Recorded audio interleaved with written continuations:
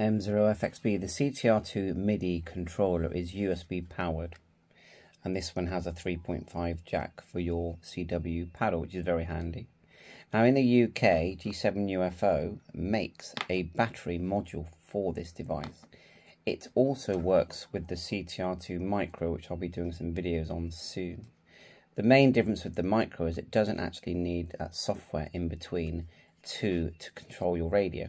This one has dipsticks and it definitely has a CW paddle, a CAT connection there, uh, and a key PTT connection. So it's quite advanced. Again, it's USB-C powered. You can buy a model where the dip switches are inside, but I, I really like this one. So videos learning this one soon. But anyway, I thought I'd show you how to add the, the battery pack.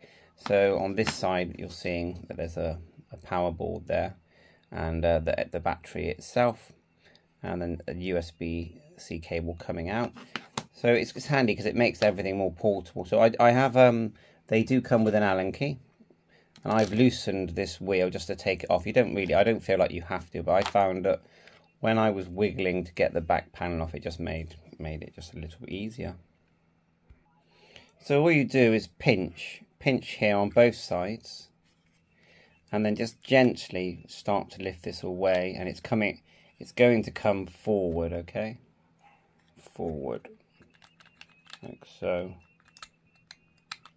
And there we are. It's off, okay?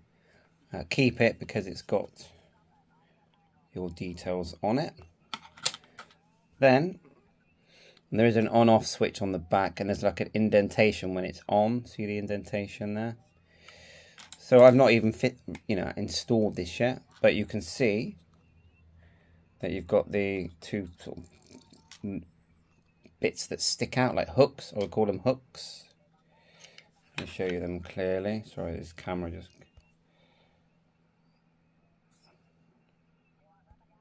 get that to zoom. See the hooks here and here. And the two pinchers. So we just put the pinchers in line like this. Make sure that it goes all the way back. And just sort of squeeze it together. Like so. Make sure it's got a good solid grip. And our wheel. Put our wheel back on. I'll just quickly do that. Allen key up here.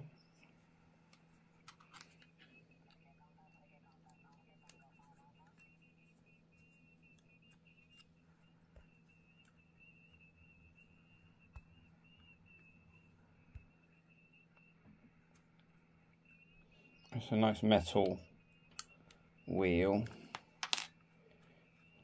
Okay, that's that. So now all we need to do is put the cable into here, like so. We charge it here and turn the power connector on. And that's it. And then to connect, here it Beeper away. and You've got buttons here as well. Go to Tools. And look, we've got MIDI and you've got the other type, which is, let me show you the, the dial one with an actual screen. Looks like that. This one has a built-in battery, this one. And this one's by G7 UFO. Uh, I'll show you the website and the, these are the, these devices have been sort of created by Lynovation as well. So this is G7 UFO site, and this is Lynovation in the USA. That's Lin. So lots of information.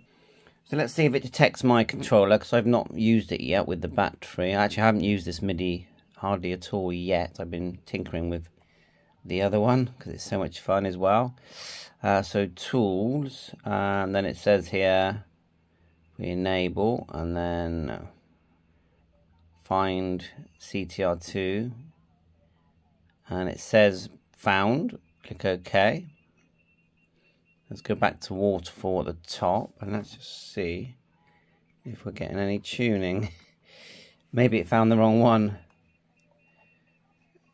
It's very possible that it found the wrong one. Actually it, it didn't. It says cannot find. let's turn this one off and try again. Okay, if you look, it, it was working just now. I might need to charge it or something. But anyway, let me tinker. Um, but that's the battery installation video. Bye for now.